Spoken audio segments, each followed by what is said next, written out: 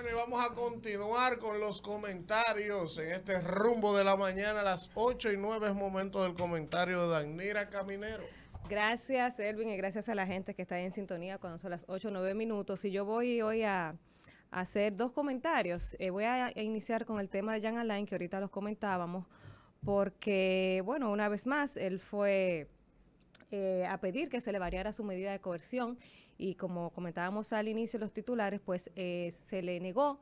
El juez considera que Jean Alain presenta peligro de fuga, pero hay que recordar que Jean Alain fue apresado el pasado junio del año 2021, o sea que en diciembre Jean Alain va a cumplir eh, un año y los 18 meses, o sea, con un año y seis meses, sus 18 meses, que es el máximo de, de la prisión. Entonces, quiere decir que en ese tiempo, pues, van a tener que soltarlo.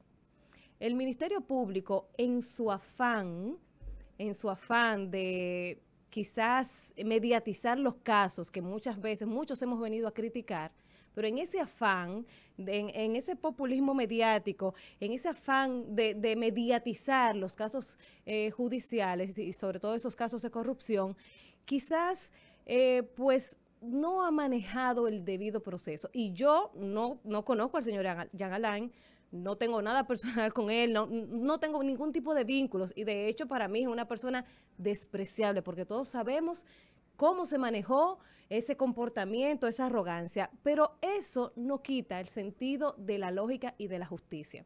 Yo creo que el Ministerio Público le está haciendo muchísimo daño eh, al sistema de justicia de la República Dominicana, al Estado de Derecho, porque al final van a quedar mal parados, como pasó, por ejemplo, en estos días que liberaron eh, a Alexis Medina, hay unos cuantos implicados en ese caso. Va a pasar lo mismo con Jan Alain, porque en diciembre se va a cumplir el plazo y van a tener que soltarlo. ¿Y qué va a pasar?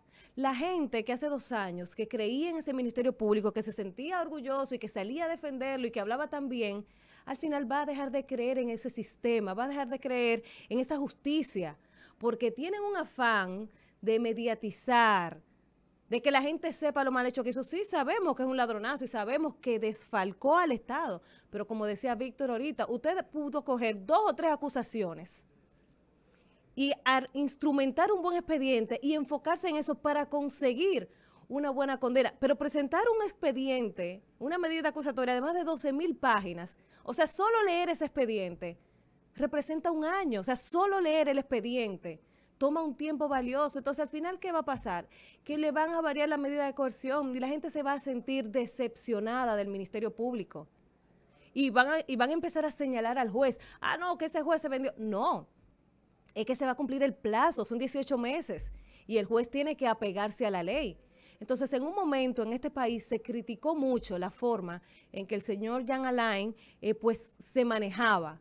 Aquí se criticó bastante que este señor no le respetaba el debido proceso a nadie. A él tampoco se lo están respetando. Y lo digo, o sea, yo no tengo nada que ver con este señor y para mí es de las peores personas que ha pasado en este, que, que, que existe en este país por su mal manejo, por su arrogancia y demás. Pero al final, ese comportamiento del Ministerio Público le está haciendo más mal que bien, porque van a quedar mal parados, porque a dos años y pico de empezar todos estos casos de corrupción que se fueron a la justicia, van a quedar todos liberados y ustedes van a ver cómo en los próximos días todos esos casos, el coral, el antipulpo, todos le van a variar la medida de coerción. ¿Y qué, van a hacer, qué va a hacer la gente? La gente va a empezar a culpar a los jueces que no tienen culpa de nada, simplemente ellos están apegando lo que dice la ley.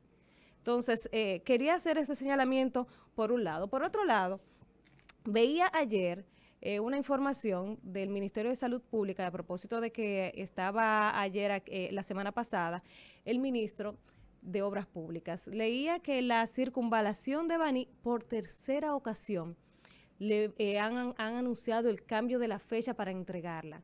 Esta obra eh, de la circunvalación que empezó, fue una de las primeras obras de esta administración que empezó en el año 2020, eh, pues había anunciado que iba a estar lista para 2021 y luego que iba a estar lista para este año. Ahora la nueva fecha que se anunció es para el año 2023, finales de 2023. en estos días, ahí en, la, la, remoción que se le está haciendo al puente Juan Bosch, yo recuerdo que tuvieron que jalar a capítulo a los contratistas porque no estaban cumpliendo el plazo. O no, no, no, no habían cumplido el plazo porque pasó. En la fecha de entrega que ellos habían quedado de, dar, pasó. Y está pasando lo mismo con esta eh, circunvalación de Baní. Y yo creo que el ministro de Salud Pública, de, de Obras Públicas, perdón, tiene que jalar a capítulo a los contratistas porque le están haciendo daño, le están haciendo un mal trabajo. ¿Con qué afán? Bueno, uno no sabe. Pero si ustedes se dan cuenta, muchas de las obras que han quedado de ser entregadas este año le están moviendo para el año que viene. Un año que es eh, de reelección, un año de elecciones. Y usted sabe lo que puede pasar, que con el afán de entregar todas las obras el año que viene, o sea, se le van a acumular todas las obras y van a entregar obras en mal estado y sin terminar. Y va a pasar como en uno de los gobiernos de Danilo, cuando él estaba terminando, que quería inaugurar obras simplemente por exhibir ciertas obras. Pero cuando se iba a hacer ese levantamiento, cuando la prensa iba a ver esas obras, estaban en mal estado y no estaban terminadas. Muchas tenían muchísimos vicios de construcción porque no hicieron el proceso que tenían que hacer y entonces al final le estaban haciendo daño. Entonces, el ministro de la República tiene que jalar a capítulo a esos contratistas que lo están haciendo quedar mal. Pasa con la obra esa que están haciendo ahí, en el 9 eh, de la autopista Duarte. Le dieron una fecha para entregar y no la, no, la, no la van a cumplir. El que transita por ahí se da cuenta que no la van a cumplir. Y ya han hecho quedar mal al ministro de Obras Públicas, que en tres ocasiones ha variado la fecha de entregar la circunvalación de Baní. Entonces, se le van a acumular todas esas obras para el año que viene y van a tener vicios de construcción porque van a trabajar sobre la, sobre la marcha, rápido, acelerado, porque tienen que entregar, porque es un año de reelección. Entonces, ministro, jale a esos contratistas ahora, jálelos a capítulo, porque lo están haciendo quedar mal. Todos, todos. Usted jaló a capítulo a la gente del puente Juan Bosch y ellos le prometieron que sí, que lo iban a entregar que iban a acelerar los trabajos. Entonces, empiece a, hacer un inventario de todas esas obras que se están construyendo y que ellos le están cambiando los plazos, los plazos. Y al final, la gente no habla de los contratistas, la gente habla de usted como ministro, porque esos contratistas no le están cumpliendo a usted.